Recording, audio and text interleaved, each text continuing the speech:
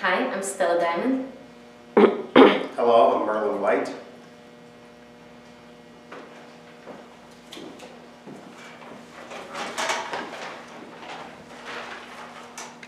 Hey, I was thinking, I need, to, I need a thing. What, what thing now? You know, a thing. Everybody's on something and I feel totally left out. You have alcohol, John has weed, and Melissa's just loose. Wait, let me get this straight. You feel left out because you're not addicted to anything. Yes, everybody's doing it, so I guess that's must be something to it, right? Yes, yes, there is. It's called consequence. I'm serious, Sam. So am I. Trust me.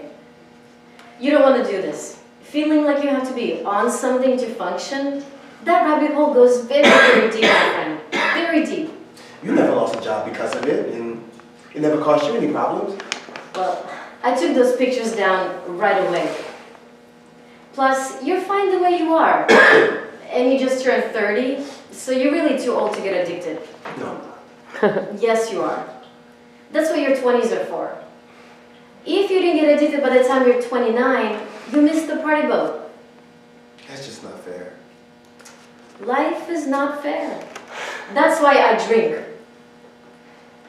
You know, if you had figured that out 10 years ago, like a normal human being, I would have happily supported your alcoholism. Alcohol is definitely not my thing. Hmm. What's wrong with alcohol all of a sudden? it's so cliche. I can do better than alcohol. Excuse me? Alcohol is a very reputable addiction. It goes way, way back. And that just shows me you know nothing about this. Nobody chooses their addiction. I didn't choose vodka. Vodka chose me. Hmm. Hmm. Hey, what about cocaine? Too expensive. And you're already way too hyper. Shrooms? You're allergic to mushrooms. Shrooms and mushrooms. Oh, God. ecstasy. I could be the ecstasy guy. Perfect. You're gonna be a wonderful ecstasy guy. Very cool. We're gonna stash it between your fiber and joint supplements. Hey, last time I checked wave check IDs, you don't check for all things. Mark, you don't want to do this. Yes, I do. You're fine. You're perfect the way that you are. That's the problem. There's nothing wrong with me. I'm tired of being fucking perfect. No one expects you to be perfect but you. I got it. That's it. What? What's that? That's your addiction. You're addicted to being perfect.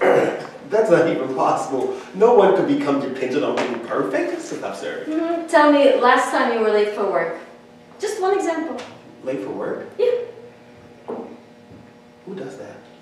Humans do. I'm supposed to be at work right now. Brag, tell him that again.